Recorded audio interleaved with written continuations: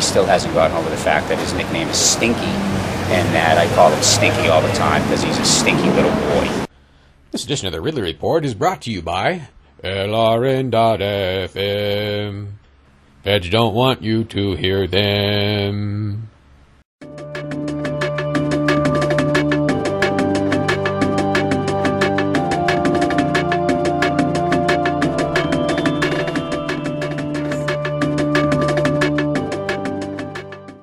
I sued him because he he uh, I sued his radio show because they were doing right to know requests and they weren't paying for them. They were being given certain documents for certain individuals but not for others. So the city of Manchester would give documents to Girard for people that they didn't particularly care for, but on the other side they would make excuses to not give documents for people like Danny O'Neill, who is the ultimate Democrat in the city of Manchester, who was the chairman of the board. But when Girard would ask for, you know, the documents on the emails that would go back and forth between me and any other person, they wouldn't give him the Democrat ones. I thought that was unfair. Well, is there a reason why you were suing to try and get more people to have to pay money as opposed No, to suing to try no. and get less people to no, pay every- less money? everybody I mean, else seemed to have to pay, just not him. Are you in favor of people having to pay so much money for? No, they these- pay the same amount that you pay for when you get a right to know request at the state. It's not any difference. Well, my understanding is though they're charging 50 cents a page for electronic documents. It could be hundreds hundreds of dollars to get anywhere. I don't, I don't know if that's true. Yeah. Yeah, I'm not sure. Right. I'm not sure. I think that the problem with that is, is when you make a request for every single email that's ever gone to, like in my case, it was oh, 1,800 emails. So when you make a request for 1,800 emails, they have to have a lot of work has to go into redacting names, and a lot of them have to go into redacting, know, certain things like phone numbers, things like that. But in his instance, he wanted copies of emails that were from a constituent to another alderman. I thought that was a privacy issue.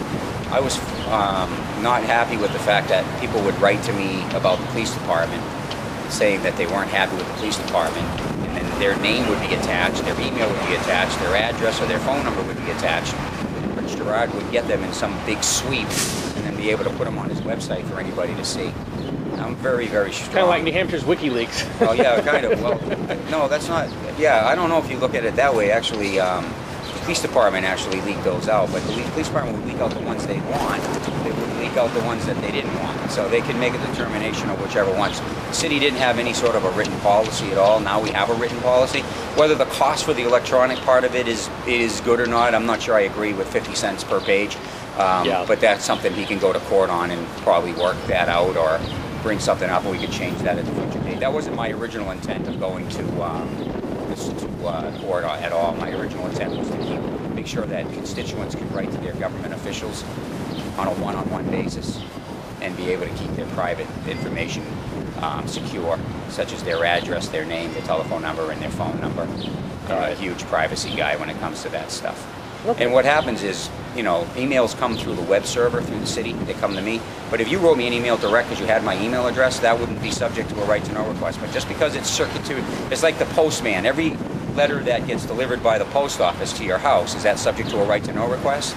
Well, just because it went through the government server into my Yeah. into my privacy uh, email, does that mean that it should be subject to a right to know request? I didn't think that that was fair to people who were writing to their people and complaining. I'd like to have more people writing to us and complaining without fear of retribution.